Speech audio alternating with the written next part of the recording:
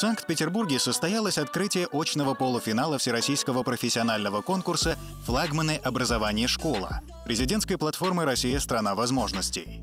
Участие примут 50 команд Северо-Западного федерального округа, которые показали наилучшие результаты на этапе дистанционного тестирования.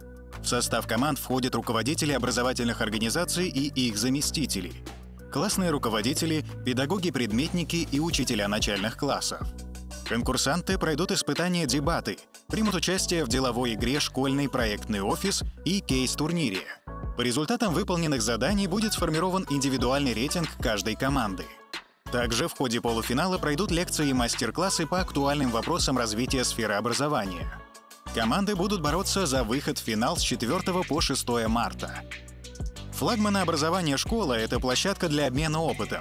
Призеры конкурса получают возможность повысить квалификацию, пройти образовательные программы и стажировки, войти в кадровый резерв, посоревноваться с управленческими командами школ из всех регионов страны, а еще получить подарки от партнеров проекта. Конкурс проводится при поддержке Министерства просвещения России в рамках федерального проекта «Социальные лифты для каждого» национального проекта образования –